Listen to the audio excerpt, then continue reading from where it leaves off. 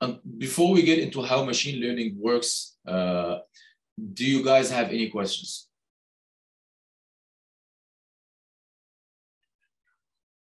Any questions?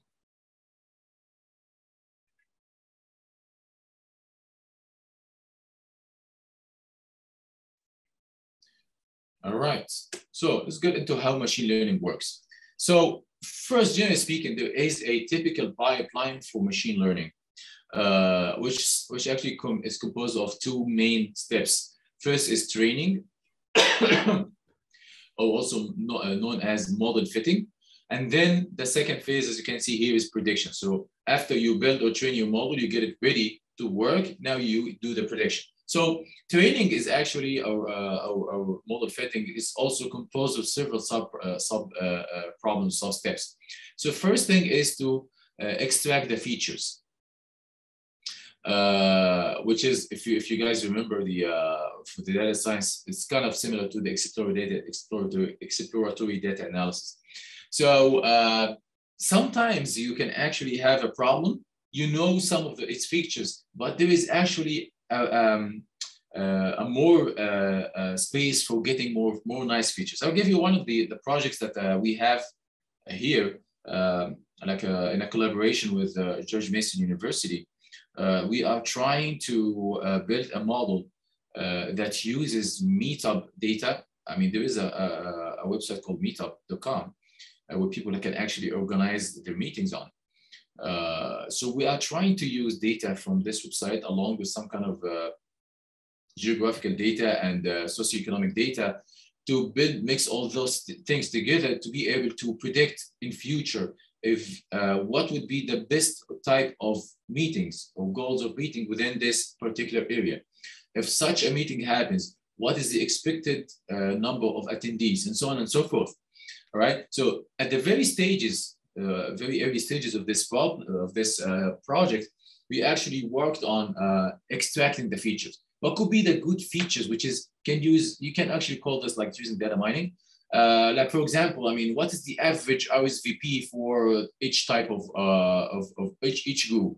Okay, uh, what other information we can learn about the the types of people who attend those events, the frequency of those events, and so on and so forth. So given the data we have, the raw data we have, we are trying to pick up some of those features to use to be more meaningful for our model to learn. So that's feature extraction. Then we do what we call data processing. So data, pro uh, data pre-processing. So in data pre-processing, we actually try uh, to take the raw form of data, or even the features, and make them, uh, put them in a, in a different format that actually matches the, the model.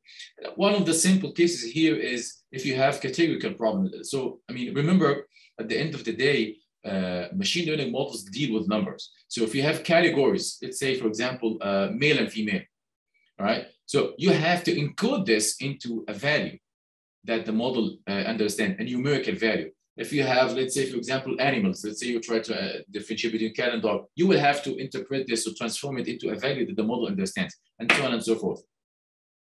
Uh, and other actually types of pre-processing, we actually take the original values, the raw values, and uh, let's say, for example, normalize them because that will actually make the model learns faster, and so on and so forth. So this is what we call data pre-processing. And then we divide our data into uh, two main buckets, training and test. And the goal of that is we use the data, the training data to train our model, but we would like to evaluate how good this training was. And in order to do this in an unbiased way, we take a part of the data, which is usually maybe like 20%, 30%, 10%, depends on how much data you have, and set it aside and use it only to evaluate the model. And so why do we do this? Because if you train the model and then test it on a subset of this data, then this is actually a biased model, right? Like, like for example, if you um, if, if you give me some curricula to study, and then you teach me from exactly the same examples that you have taught me in this curricula, then probably I already remember the numbers, right? So the, this is not like a good evaluation of the model. That's why we set aside the test data and use it to evaluate our model.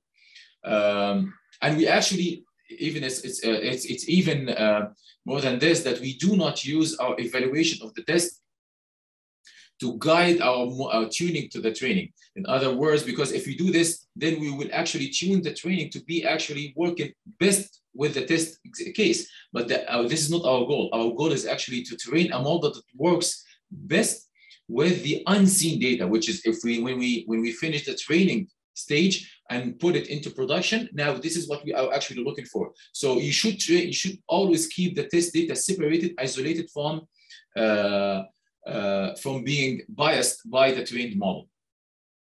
And to do this also, we actually sometimes uh, uh, split the training data into train and validation, because the fact of the matter is some of the uh, machine learning models will have uh, some kind of tuning knobs, tuning knobs.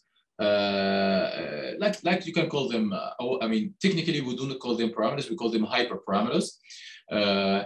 like for example, as we're going to see, if, if you have heard about the decision trees, I mean, that's a tree, tree structure, and there is a depth of this tree structure. So what would be the depth that you are going to use for this problem? This is one of the hyperparameters for the model. So what is the depth? So in order to decide this, we actually use the validation set to work as if it's a test set for the training data. So that to decide which depth is going to be best for the training data. But I mean, this is beyond the scope here. I mean, just uh, to give you just an idea that uh, what we do here. So we basically divide the data into training and test. Uh, and as we said, machine learning usually learns in an iterative uh, format.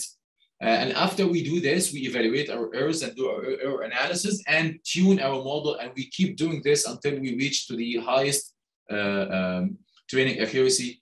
Now, at this point, we can actually deploy our model into production. And in this case, I mean, as you can see in the figure uh, here, you use the model, pass it with new data, do the prediction, and produce the predicted data. so one of the major um, types of, uh, of machine learning is what we call linear machine learning models. And this is the simplest format of them. So as you can see here, uh, I mean, uh, uh, we pass the inputs, which is, I mean, after we have pre-processed them and put them in a numeric format. Uh, let's say we have three value.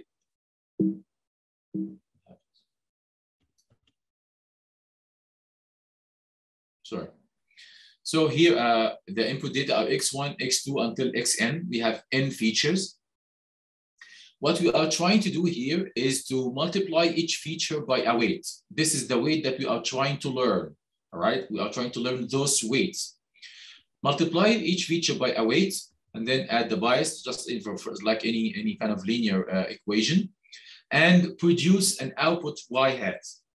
And our goal is to train this model in, in an iterative way so that we can find an, the weights that will make the difference between y hat, which is the predicted output, and y, which is the original label, the, the minimum, right? So we do this by calculating the difference. We call this the cost function or loss function, the difference between y and y hat, and use this difference to update the weights uh, again, and then continue, I mean, relearn again. Okay, so again, pass the data, multiply by the weights, calculate the predicted value, calculate the difference, and then based on this, we actually update, our, our weights and keep doing this in iterations until we actually reach to the best calculation, the best accuracy uh, possible. We actually use here something called a learning rate, uh, which actually represents how much you can you would like to learn from each step. Because the fact of the matter is, if you make the learning rate so high, you actually you more can overshoot. Think about this like the following. Uh, you know, when sometimes someone uh, like uh, we all go through experiences, right? If someone goes through an experience and starts to generalize very much from just one experience, right? The, the, uh, their, their, their judgments will start to be very kind of uh, uh, restricted to this particular uh, case. And that will, uh, his, their prediction is going to be very biased towards this. So you need to actually update your learning rate. I mean, so for example, you can tell me, don't take so much, don't read in so much from this experience, right? That's why when you actually reduce your learning rate, you learn, yes, correct, but don't learn so much because we need to update. I mean, you need to go through other experiences in order to learn better. uh, as we said, this type of, of models per uh, uh, the question that I was asked uh, before is not really explainable because at the end of the day, what you produce is a bunch of weights which does not really explain uh, why the model produces this. There is no real meaning behind that. But it actually turns out there, there, are some other machine learning models that are actually interpretable. Uh, like, for example, the decision trees. If you can see here, this figure is um, a decision trees that, uh, that shows um, how can we use information about a, um, a client for a bank in order to decide whether should we should he should they be given credit for loan or not.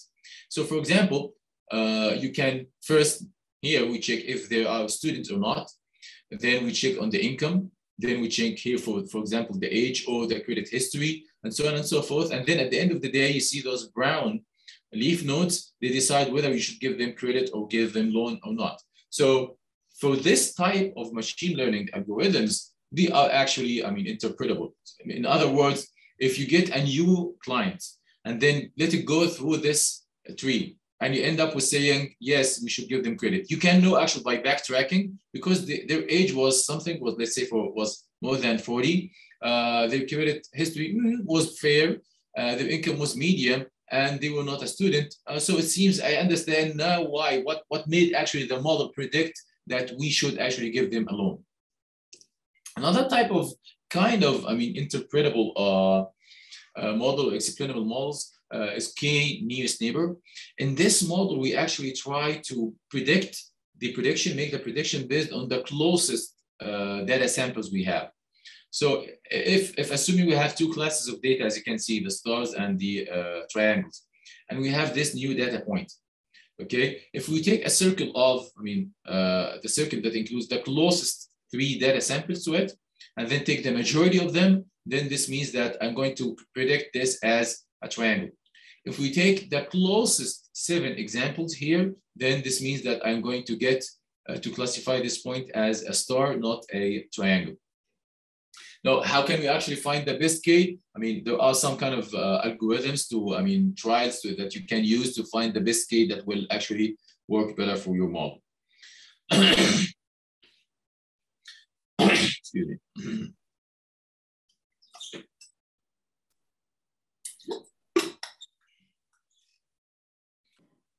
So as you have seen here, this, this structure, it actually lends itself to how the neurons in our brain works. As you can see here, the typical neuron has a body and receives signals from the, from the uh, other connected neurons with, through the dendrites, and then produces an output that propagates further into the other connected neurons to the axons, right? If you can look at this, it looks very much like what we have just described a few slides ago, like the have inputs multiplied by weights and then produce an output and so on and so forth. So if we actually put a bunch of those together and, and connect them together and form like a bigger structure, then we have probably tried to simulate the structure of neurons. Again, even though we don't know so much, I mean, exactly how they work, but we are just trying to, we are inspired by them.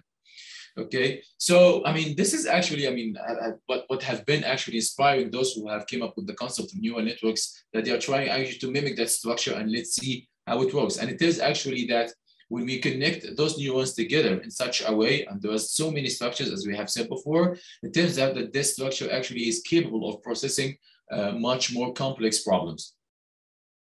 So as I said, an artificial neural network is capable of learning more complex and deeper, pro deeper problems through what we call nonlinearity. Because if we, if we look back here at the linear models, this is a linear equation. What we do here in, in, in neural networks is actually introduce something called an activation function, which actually, I mean, introduces some nonlinearity to the model, which actually gives it like more freedom to, uh, to learn complex problems. And we actually, when this network gets like deeper, we call this deeper, uh, deep neural networks. Uh, those deep neural networks can be multi-layers, uh, hundreds or even thousands, uh, and each layer can have like so many nodes, and that's why you can expect why it actually needs a lot of computation power. Uh, again, it learns more complex problems, and what is even nice about them is that they can learn um, their own features. So if you remember here, we pass the features to this node. Now, when we put those features together, now this node has actually got, got the output, those are the input. Now this node gets the output of the, gets its input from the output of those previous nodes. Okay, so as the, the model of the, of the, the, the neural networks learns, actually each layer would start to learn its own features. And we actually start to see some interesting features, not, even though it's not in every uh, type of network. So for example, here in this network, we pass an, an image of a human uh, to the network. And it seems that the first layer of the networks actually learns edges, as you can see here. Now, the output of that is passed to the next layer, and it seems that the next layer actually can learn combination of edges, like, for example, eyes, nose, ears, and stuff like this. And then the next layer can learn more complex uh, uh, things like object models, like a type of faces, not actually a particular face, and so on and so forth. so as we said, when we use, when we deal with neural networks or deep networks, we can actually eliminate the need for feature extraction. Um, there are many structural patterns for the uh, deep neural networks. Uh, for example, the convolution neural networks, which is basically used for image processing. Uh, the recurrent neural networks, which is basically used for sequence models. Uh, and we're going to talk about the sequence models in a, in a couple of slides. Uh, this is, I mean, an example of the convolutional neural networks. Uh, it's actually, I mean, without going into so much details, but as I said, it's basically used to process images. So you pass an image as a set of pixels and you start uh, applying some filters uh, on those images until you produce an output. Let's say, for example, in this here, we pass it a number, like a handwriting number, and we would like to guess which digit it is, like from zero to nine. So we have 10 classes here. Um, the recurrent neural networks, which as I said, uh, are used to deal with the sequence models. And so one of the sequences, um, the examples that we have seen so far, uh, so for example, the um, uh, the housing problem, you have a bunch of features, number of bed, bedrooms, bathrooms, and stuff like this. All of those types of uh, features, they are not dependent on each other. Now, in some cases, for example, when you have text, when you have musical notes, when you have words, those, I mean, in order to understand what's there and deal with it, you will have to deal with this as a sequence. So, I mean, in order to understand the fifth word, you need to understand what was meant in the previous words and so on and, forth, and so on and forth. And sometimes actually you need to understand the first based on the on the on the second or maybe the nth uh, word. I mean, it's actually both directions. So this is where we need to use those recurrent, recurrent neural networks to process those sequences. so examples here are text summarization, uh, um, chatbots. I mean, to be able to understand what's there, you need to understand that uh, um, to the, in order to respond to an, an answer to a, to a question, you need to understand what's there. And it's actually, there's a lot of work now in the industry on the chatbots uh, for the customer support and stuff like this to save the time and, and make the responses like uh, faster. this is an example for a sentiment analysis. Uh, so you put the, uh, you give the sequence uh, again of, of, words and the, uh, the output of that is going to be whether, for example, this was uh, like a good review or a bad review. Other examples of the sequence models are speech recognition, maybe music generation. So you pass an input as just one simple and uh, like a starting simple and let the model generate uh, uh, music based on certain genre, for example uh, classification, as we said, like the uh, uh, you you classify or to predict uh, what was the, uh, uh, the the rating of that that was meant by this review. DNA sequence analysis, the DNA sequence analysis, machine translation. So the input here, I mean, input and output are, can be actually different length because you don't use typically the same number of words to make the same statement in different languages uh, video activity recognition. So like given a video, which is a bunch of frames, how can you know what is the activity that's being executed here and so on and so forth. so now so far we have uh, talked about deep learning versus machine learning and we said that deep learning is like that that connected structure of uh, neurons um, so what's the difference between them uh, as you can see here i mean deep learning because we have a bigger structure it usually needs more, uh, more data to learn. Uh, while the simple machine learning models, um, which is like one node, they usually are capped, the performance are capped because they can't do much more um, uh, processing, just like uh, the deep neural networks, and they are not very flexible like the deep uh, uh neural networks. Another major uh, uh, difference is the feature extraction. As I said, in deep neural networks, the model actually can extract or can learn its feature, its, its features, which is different from the typical machine simple machine learning models. Uh, in order to evaluate our models, we typically use some measurements uh, like the precision, recall, uh, specificity, uh, uh, and the sensitivity. I guess people who work in the medical and biological field, they, they are more familiar with what's called the sensitivity and specificity, particularly, for example, the tests like COVID tests and stuff like this, they are more familiar with those. So we use actually those measurements to um, evaluate our models. Uh, one of the main things that we, uh, as I mentioned before, we do with our models is uh, uh pre-processing and data feed. So uh, as I said, one of the uh, pre-processing phases or operations that we apply to our data can be actually meant to um, speed up our speed up the model, how, the model work, the rate of the, the model learns. Like for example, normalizing our features. Um, if you can see here, this is like a sometimes your, your features are actually not very normalized. They are very kind of uh, spread over like a big range of data. So you just need to normalize this data, uh, this uh, this data in order to make it normalize the features, in order to make the model works better. And as you're going to see with Chreston in a, in a few minutes, uh, there are already, I mean, uh, some built-in tools that can do this for you. Uh, the data feed, which means that how much data you feed to the model to learn every iteration. So remember, we said machine learning learns through iterations. So you can actually feed all your data to the model to learn every iteration because remember, we update the weights every iteration. So the next time the model is going to see the data, it will have actually a different set of weights and will keep updating this until it actually reach to the best accuracy. But if your data is so much, then feeding or training the data, your, your model with all the data if iteration can be actually very costly. So, uh, which is actually, this is what we call batch uh, uh, data, we which means that we use all the data every iteration. Uh, the other side of that is to use only one data sample every iteration, but the problem with that is the learning is going to be very rugged like this, this kind of uh, what we call stochastic uh, gradient descent is one of the, the, the, optimization techniques we use to find the solution. But there is actually a middle ground, which is uh, what we call many batch uh, uh solutions, where we actually take batches, let's say, for example, 32, 64, 128 data samples every time, which is what is actually more used in the, in, in the industry and research. We also do something called tuning, Uh, uh, which is actually has the goal of speeding up and improving the accuracy. For example, the learning rate that I have mentioned before. And one of the main things that is very important in, in training machine learning is uh, uh to prevent the model from overfitting. So what is overfitting?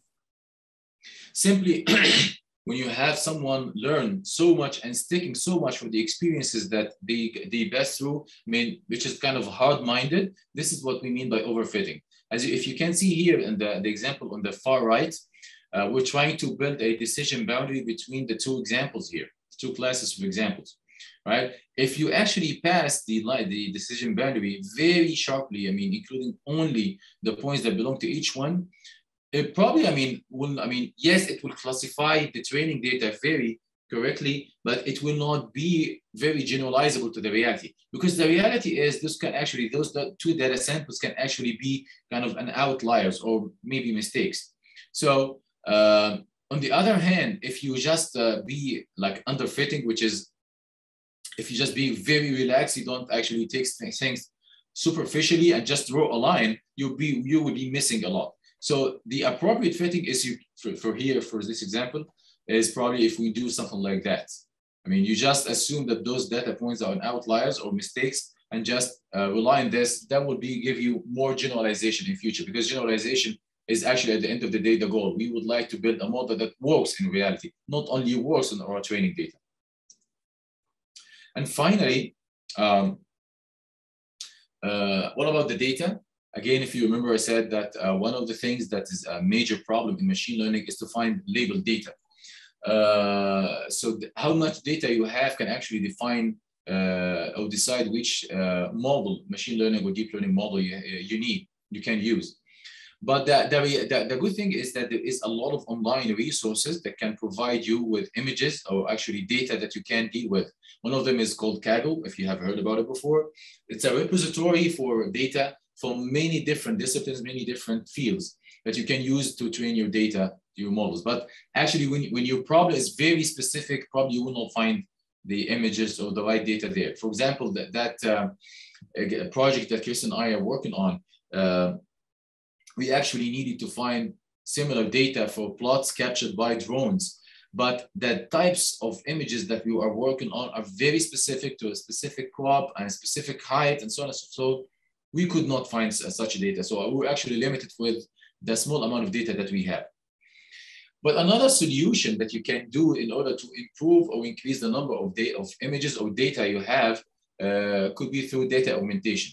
So data augmentation means that you introduce some changes to your uh, uh, data so that it will look like a new set of data. But you try to do this in a, in a very realistic way as much as possible. Like for example here, we have this picture of a butterfly. So what can we do? We uh, can actually detexturize the image because remember, your model will need to learn uh, on the samples that represent the distribution that we will you will get the data from in reality.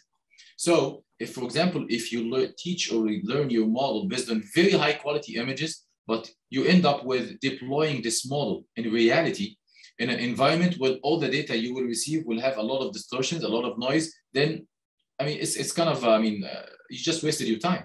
You need to get the model trained on the type of data that you expect to see.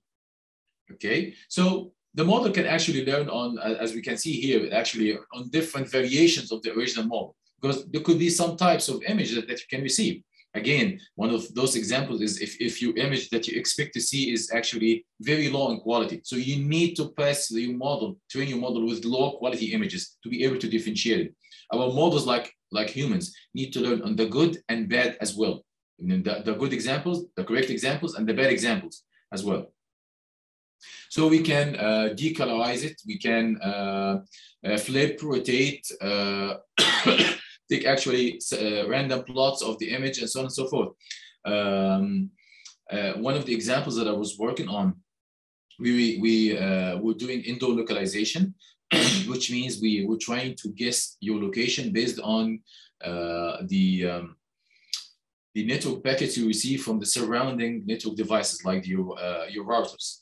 Uh, so we, we do this through the signal strength. We receive your, your, your, your phone number, your, I'm sorry, your phone, uh, your mobile phone uh, can detect from the signals that it receives. Okay, so based on this, we can train a model to know where are you based on these uh, uh, measurements. But the idea is um, we didn't, I mean, we didn't have enough data like that. So one of the, the augmentation techniques that we have followed is probably we can drop some of the uh, of the received data, received the signal strength or packets, so that we can actually try to imitate some of the natural uh, uh, impacts or the natural effects that we can find because we, because we are inside an indoor environment. So anyway, I mean, the, what I'm what I'm trying to say here is we can use a lot of a lot of ways to increase our data. One of the projects that Chreston is working on uh, is also includes um, uh, working on uh, doing some classification based on text, okay? Text uh, that describes garments. So we actually are working, or Chreston and his team are working on producing or increasing this data by augmenting the data, and because we don't have so many of those. Uh, so we're trying to come up with some variations of these uh, text descriptions to uh, increase the data set and make their training better. And finally, one of the uh, important ways in order to make your, uh, to get your data model work is what we call uh, transfer learning. So what is transfer learning? Uh, in, in many cases, it turns out that uh, there are so many people who have tried to solve the same problem uh, like the one that you have solved before. so for example, let's say that someone, some team have tried to uh, work on uh, animal uh, pictures. Let's say like, let's say dog pictures, okay? And now you would like to build a model that will differentiate or actually work with cat pictures. So cat and dogs are different, but there is some similarities. So you can actually take the model and then retrain part of it. Because if you remember from this picture,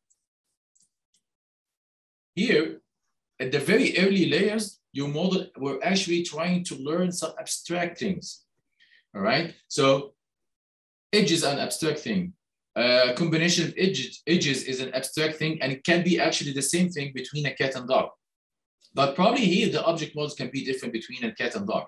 So what you can do is actually take part of the early part of the model and then just train the late or the uh, very last layers of the model. This is what we call uh, transfer learning. And it actually saves you a lot of time and also it makes you need for data less because you already have trained a good part of the network.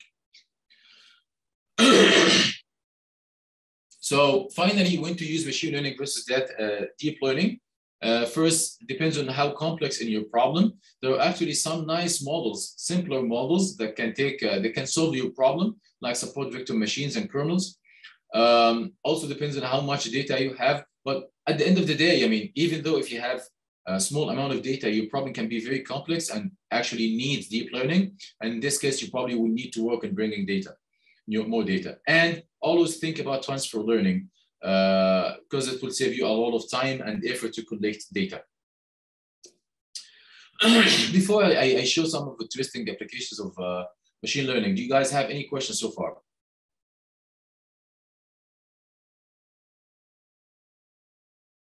Any questions?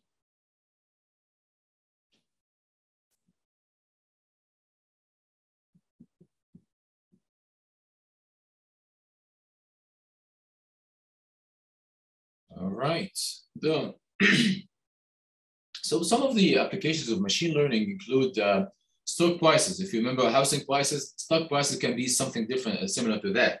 But uh, actually, I mean, uh, you will need to think uh, uh, carefully about what features can contribute to the impact of, of stock, stock prices, because that will include a lot of things. I mean, you guys probably following the stock prices now because of the news about the the war between Russia and Ukraine, and this is all this is definitely impacting the stock prices now, which is something probably cannot be predicted. But there are some maybe some other factors that can actually uh, exist and normally exist in the, in the environment and can impact the stock prices.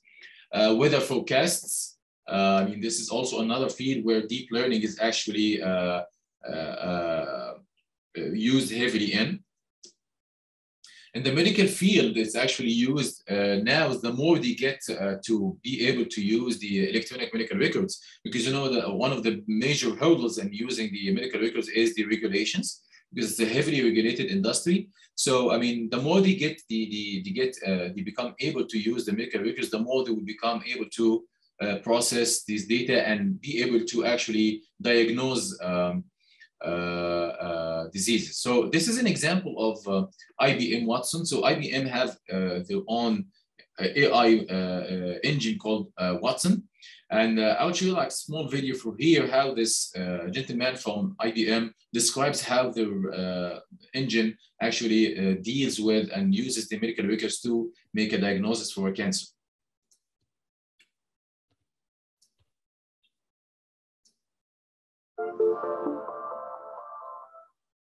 So now the first thing a physician will do is validate all of the information for this patient. And once it's verified, then what Watson can do is bring up the various treatment options. So Watson isn't winging it, right? It's the, the physician is part of this process. No, so now what's happening is um, in addition to Watson reading through the electronic health record and figuring out what's relevant for this patient in the context of cancer care, what Watson also has been loaded with is 15 million pages of medical literature and, and it's been trained on thousands of cases uh, that have been curated so Watson can understand um, the right treatment for these individuals. and so as it went through this process, it basically brought up the treatment options now specific to this individual. and there's there's essentially three sets of options. Uh, there's recommended, generally good in any circumstance. That's green. There's yellow, which is for consideration, could very well be a good option, but there may be something that you need to explore, like a comorbidity, just as one example. Or red, generally not recommended, could be a contraindicated uh, uh, uh, uh treatment option. And so, so as you could see, uh, the model was trained on uh, cases as well as was actually equipped with uh, literature, like 15 million literature uh, uh, pieces about cancer. So, I mean, it has been very well trained and it can actually um, uh, produce like a very high, highly accurate uh, prediction or diagnosis of the patient given their own the information as well of course, I mean, the internet has, is a big field for using uh, for uh, the uh, using machine learning and artificial intelligence. And I said at the beginning, the targeted ads is one of, the, of those. I mean, it uses your information to predict which ads will be uh, suiting you. The recommender systems, there are trigger words. If you haven't heard about the trigger words, this is, for example, when you say, uh, "Hey Siri" or "Hey Google" or I mean stuff like this, and Alexa. Uh, these are called trigger words. The problem with those is uh, they need to be uh, captured. But, I mean, the, the application, which is Siri or, or, Alexa, needs to be able to respond to you once it hears it. But the idea here is that we have different voices, we have different pitches, we have different dialects, we have even different backgrounds. So if, if a person with a dialect like me say, hey, Alexa, it can be different from like British English versus American English versus European English, and so on and so forth. In, in addition to that, let's see that I'm driving my car and uh, and uh, uh, and uh, there is a lot of noise around me. It actually needs to be able also to capture the word, the trigger word, and respond given this noise. If I'm sitting next to a train, uh, it needs to be able to capture this, and so, and so on and so forth. Image search is one of the interesting things that I usually use for my presentations. So if you can notice through all these slides, I include the link to where I get those pictures from. And the way actually I found this picture is through image, Google image search. So I just type, let's say, for example, the uh, supervised learning, and actually brings me a lot of pictures that shows, I mean, supervised learning. I mean, if you go to uh, images.google.com, uh, I mean, it's a, it's a nice source for those.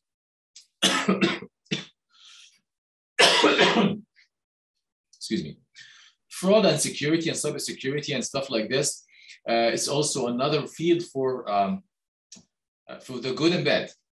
All right. If you have probably heard about the, the deep fake, where you can actually superimpose uh, words or speech on the tongue or the face of someone, and it looks very natural, it's very, very dangerous actually. So let's see this example.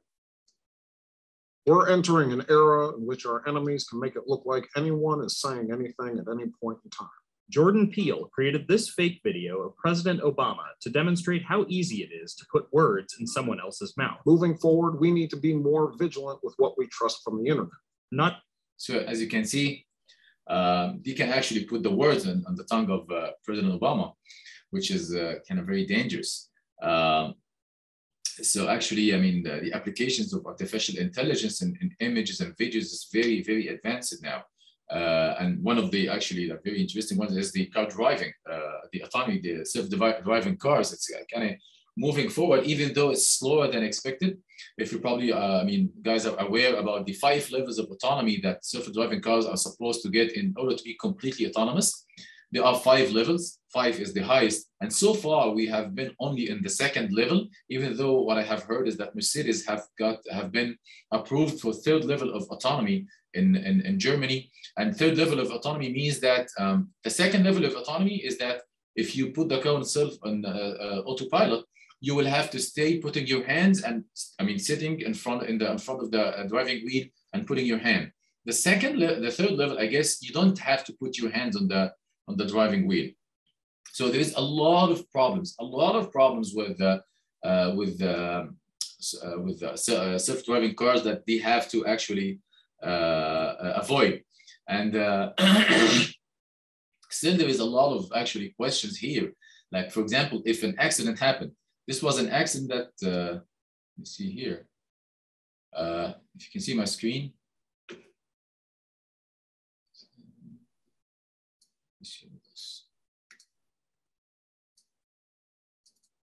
schema screen here. This is a self-driving car. This uh, uh, incident happened in 2018. Uh, a self-driving car actually hit a pedestrian it was a kind of a peculiar case. The pedestrian was walking with a bicycle next to them, and it was night, and probably he, they were passing on over the uh, uh, pedestrian area. So it was kind of a very peculiar case. That's why, I mean, the models need to be very well trained on all sorts of cases. And uh, the problem happens here is that from an ethical and regulatory uh, point of view is uh,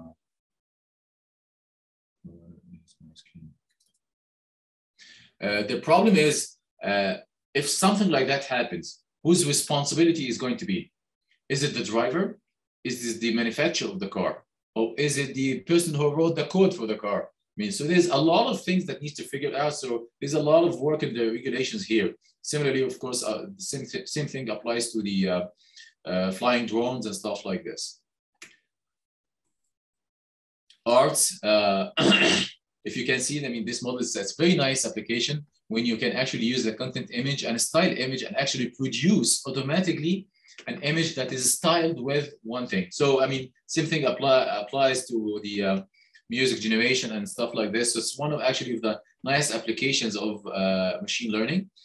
Uh, natural language processing, uh, one of the very, I mean, uh, advanced areas of applications of machine learning. And let's see this video this video was from uh, Google I.O. conference in 2018. So that's almost three and a half years. Okay, and you're going to see now how far they have reached with uh, their natural language understanding applications.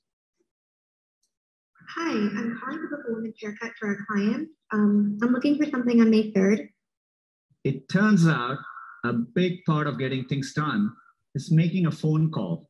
We think AI can help with this problem let's say you want to ask Google to make your haircut appointment on Tuesday between 10 and noon. What happens is the Google Assistant makes the call seamlessly in the background for you. So what you're going to hear is the Google Assistant actually calling a real salon to schedule the appointment for you. Let's listen.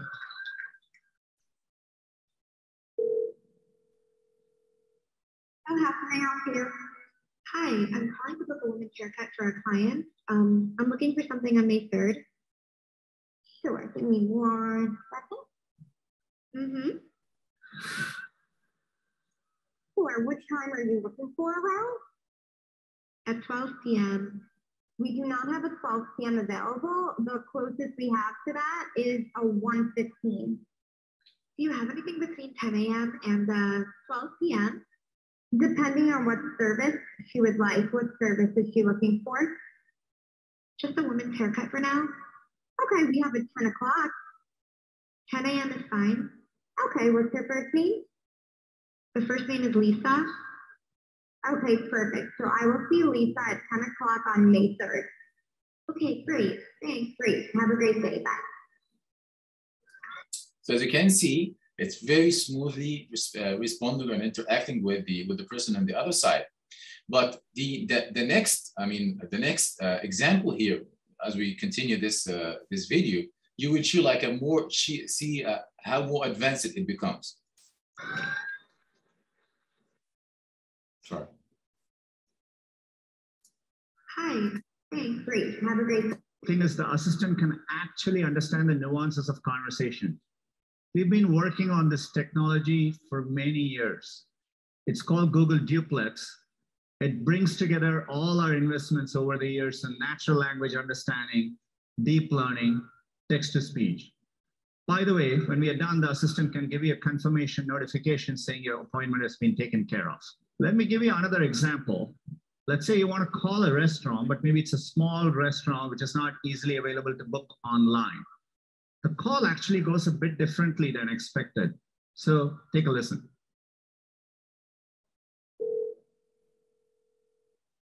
Yeah, may I hear you? Hi, um, I'd like to reserve a table for Wednesday the 7th. For seven people?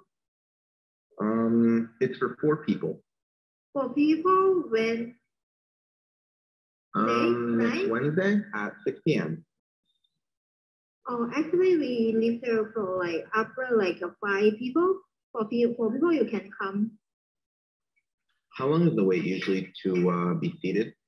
For when tomorrow or weekday or For next Wednesday, uh, the seventh. Oh no, it's not too busy. It, it you can come for four people. Okay. Oh, I gotcha. Thanks. Bye-bye.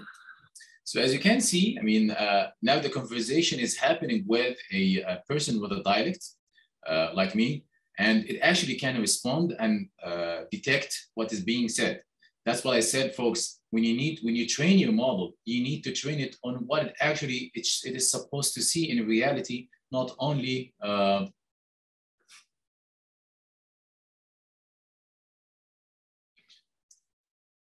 uh, not only the uh, things that you, you have in your data. You should, you should train it on the reality, on, on what it's supposed to see. Finally, limitations and risks of machine learning. One of the main things in machine learning is the main problem is bias.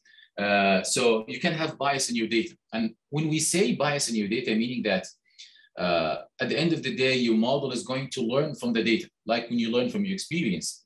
Uh, but your model is, I can comfortably say that it's not smart like you.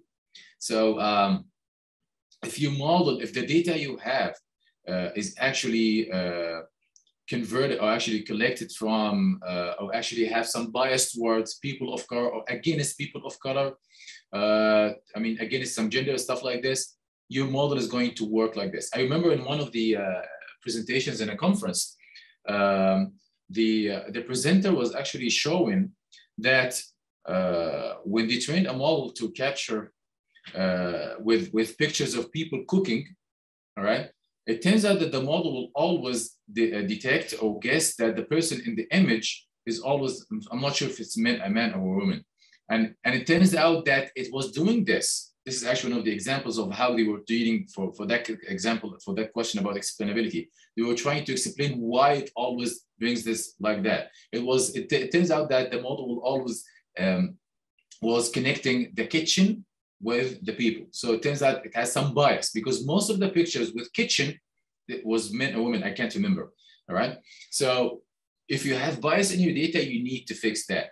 Uh, you, you also have to, you need to make sure that your model inside, inside I mean, the, the how the model is actually uh, built also does not have bias. One of the nice examples here is, uh, which is a risk, is uh, that case in, in Facebook that happened a few years ago, where um, uh, they were trying to train a chat bot to do bargaining, all right? And they had Alice and Bob, they were trying to, uh, to need to be trained. And uh, what was funny is that uh, the, the agents or the models actually built uh, their own language and started to converse in something that they can respond to each other, but nobody have, could understand. Back to the explainability. And actually Facebook had to shut down this project because they ended up not being able to, I mean, to deal with this. Let me show the, uh, mm, here. Facebook shuts down robots after they invent their own language. That was 2017. So that was just one of the, the nice examples of what what risks can be. In people are now talking about the um, the risks of uh, developing robots that can actually like be kind of uh, war robots because you don't know. I mean, how they are going to do this. Uh, I mean, the, the, the concept of ethics is not something that they can learn. Even though I mean, in this conference that Chreston and, and I were, were, uh, were, I mean, a couple of days ago. I mean, there was a lot of thing, a lot of discussion, a complete track in the conference about AI ethics and how can we actually train the models about the concept of ethics. All right. Uh,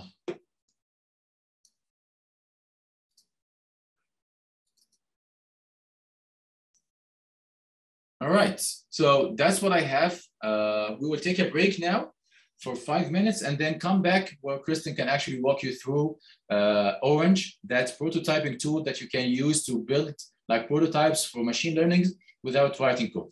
We will uh, be, uh, let's be back at uh, 11, 1106. Is that okay, uh, Alessandro? I hope everyone is back. Uh, now, Chreston, my, my, colleague is going to start the, the code theme, the tutorial on Orange. Uh, to you, Chreston. Okay, thank you very much, Amr. Uh, let's see, am I? Yes. Can you hear me all right? Yes. Awesome. Yeah, so yeah, this is the section of the workshop where we get together hands into something. Um, we chose to use Orange because it's a wonderful uh, tool with a low learning curve. Uh, next slide, please. So the, the tutorial I'm going through today was adapted uh, from a book by Jason Brownlee, who he is an author of um, applied machine learning books. And he does a wonderful job in explanation. He has so many online tutorials on many different machine learning and deep learning topics. For example, if I ever have a question about something in this field, I search for machine learning mastery first to see if he has something. Um, but this book he wrote was using a software, another open so- source software called Weka. This learning curve for that one is a little bit more involved. Uh, so we adapted it for Orange. Next slide. So what is Orange? It is a visual coding uh, through these uh, little interactive widgets on a canvas, blank canvas you'll see here in a moment. And it's way that you can, allows you to do machine learning algorithms without any coding experience. And it's been around for a number of years, so it's very mature. Uh, next slide. And so roughly speaking, what we're going to do today is we're going to load up a data set, which uh, everyone should have had access to. It's a diabetes data set and do some analysis on it. Uh, we're going to perform a suite of different algorithms, uh, machine learning algorithms to see which ones perform the best. And then we're going to show you how to finalize and save your models and load them for future data.